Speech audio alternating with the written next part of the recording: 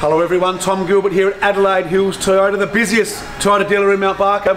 I'm here because as you know, I love my Hilux. I throw the mountain bikes on the back and take it everywhere.